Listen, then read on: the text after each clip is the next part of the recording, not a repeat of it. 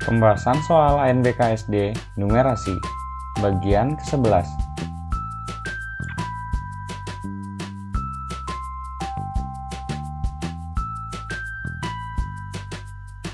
Sebelum lanjut menonton videonya, jangan lupa subscribe, like, komen, dan share videonya.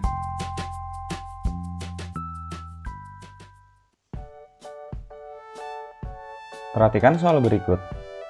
Gambar tersebut menunjukkan permen jelly tusuk dengan isi yang berbeda. Setiap tusuk terdiri dari beberapa buah permen jelly dengan warna yang sama. Satu tusuk isi tiga permen dijual dengan harga Rp2.000 dan satu tusuk isi 5 permen dijual dengan harga Rp3.000. Surti mempunyai uang senilai Rp20.000.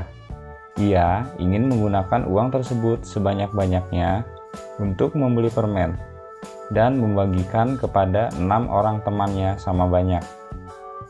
Permen apa yang harus dibeli Surti? Berikan alasanmu.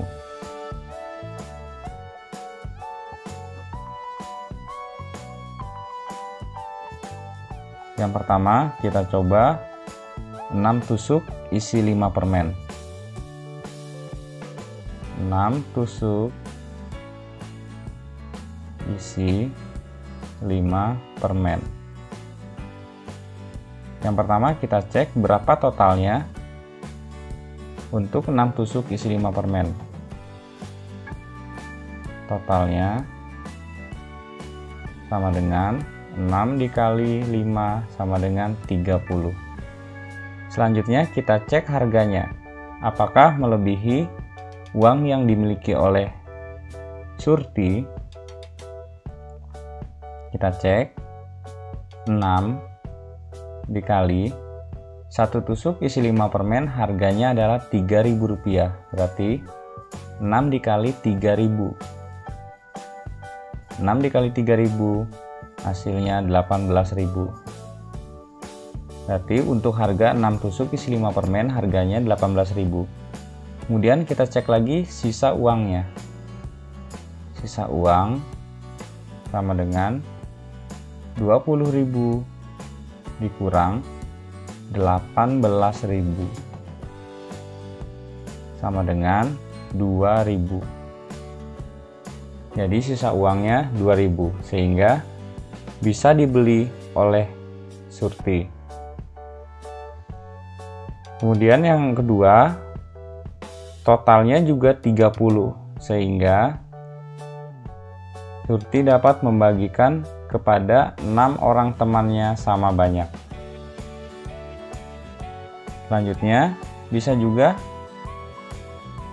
si Surti membeli 3 tusuk permen isi 5 3 tusuk permen isi 5 dan 5 tusuk permen isi 3 kita perhatikan totalnya.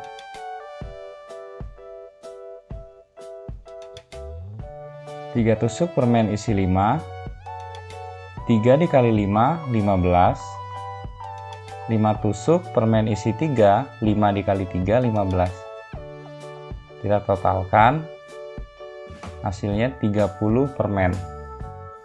Selanjutnya kita cek harganya apakah harganya membeli melebihi uang yang dimiliki oleh Surti yaitu 20.000 kita cek harganya.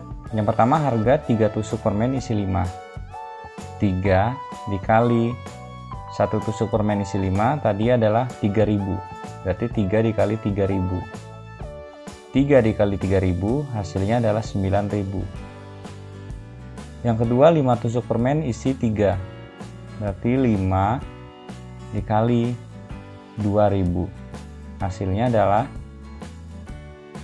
10.000 kita jumlahkan berapa? Harganya yaitu 19.000 berarti harganya 19.000 kemudian sisa uangnya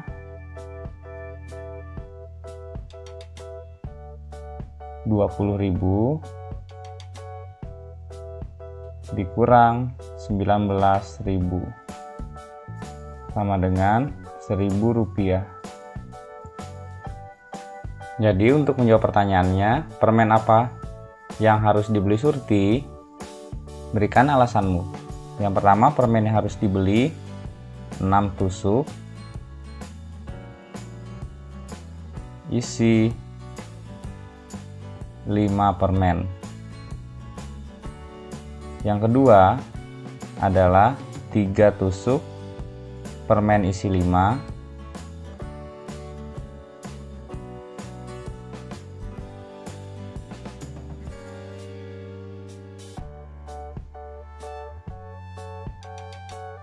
dan 5 tusuk permen isi 3 Alasannya, yang pertama,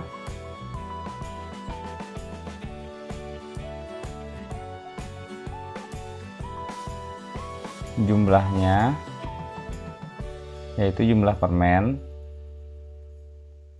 dapat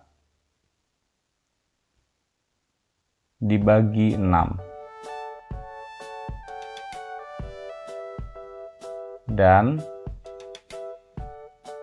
uang cukup.